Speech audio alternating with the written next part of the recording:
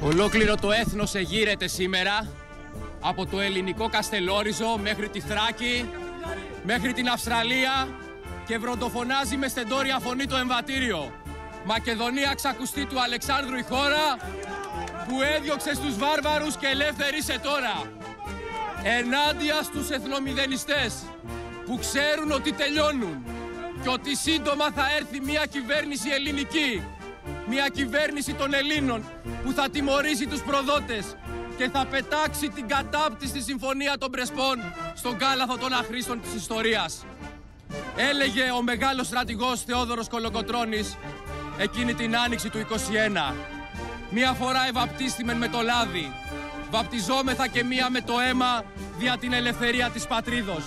Και η ελευθερία των Ελλήνων σφραγίστηκε με το αίμα χιλιάδων αγωνιστών αλλά και χιλιάδων Τούρκων που τόλμησαν να πατήσουν το πόδι τους στην Ελλάδα. Και θα θυμίσω στους Τούρκους που σήμερα απειλούν και προκαλούν τη μαύρη μοίρα του Μαχμούτ Πασά της δράμας όταν τόλμησε να πατήσει τα επαναστατημένα εδάφη με αμέτρητα στήφη βαρβάρων συνάντησε όμως τον Κολοκοτρώνη και τους κλέφτες του Μοριά στα Δερβενάκια και δεν πέρασε κανείς τους από τα στενά και έμειναν 200 χρόνια άταφα τα οστά τους ως ένα μνημείο της ελευθερίας των Ελλήνων. Θαρσίν χρή, να έχετε θάρρος, να μην ξεχνάτε ότι ο Θεός έχει βάλει την υπογραφή του για την ελευθερία της Ελλάδος και ο Θεός την υπογραφή του δεν την παίρνει πίσω. Και να φροντοφωνάζετε πάντα ενάντια στους προδότες. Η Μακεδονία είναι μία και ελληνική.